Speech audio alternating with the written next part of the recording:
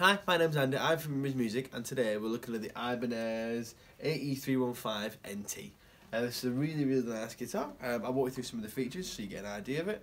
It's got a solid Sitka spruce top. Uh, really, that's, really, that's my favourite form of um, spruce anyway.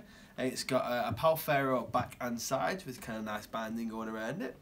Um, it's got a, a mahogany neck on the back on the top, although it doesn't look like it, it's actually got cultured maple. So this is a quite a nice bright sounding, but they've uh, got a lovely design on there. So I think they've maybe uh, cultured it just so you can see that design a little bit better, like a kind of like almost like a tree of life kind of thing.